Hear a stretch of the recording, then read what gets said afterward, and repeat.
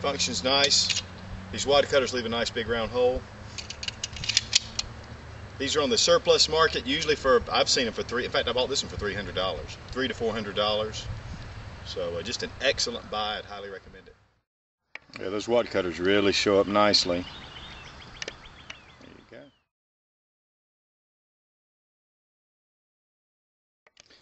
The Ballester Molina 45 ACP caliber semi-automatic pistol made by Hafdasa, which uh, the Argentine Army adopted this gun in the in 1938, which it actually commissioned Hafdasa to build this pistol.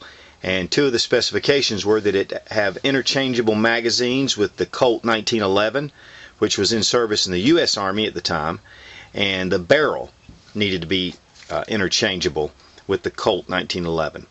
And other than that, there are no other interchangeable parts on this pistol. Now, if you look at it, it has the same, pretty much the same profile as the 19, the Colt 1911. Uh, but I just happen to have a 70 series Colt 1911 here, and as you can see, the profiles are really close. But uh, the, one of the biggest differences is there is no grip safety on the Ballester. Here's the grip safety right here. It needs to be depressed before the gun will fire. Uh, it has an external uh, removable mainspring housing, which the uh, Ballester has an integral mainspring housing, and that's what that little knob is.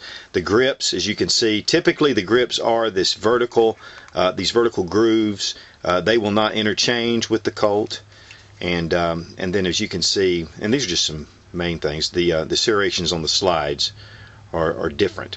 This particular Ballester Molina has had night sights put on it before I, I acquired it.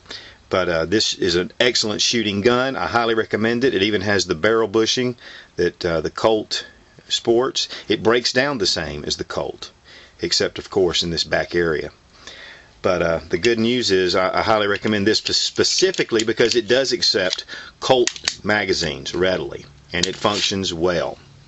Uh, I have shot a lot of hollow points through it. It can be a little finicky, but most of your, even your Series 70 and a lot of your older guns are finicky on ammo.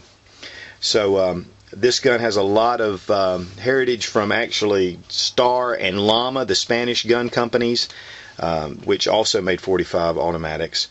But um, this gun was had a big contract from the British Army during World War II, and over eight to ten thousand guns were um, contracted to be made in exchange mainly for steel because the Argentines were having a hard time getting raw materials with the war going on. If it is a British model, it will have a B in the serial number at the beginning of the serial number, and those are very collectible.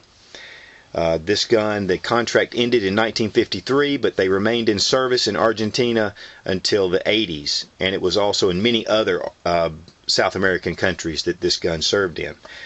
Uh, it was taken over by the, the DGFM Sistema Colt, which was a direct copy and of the uh, the 1911. It was actually the M1927 model.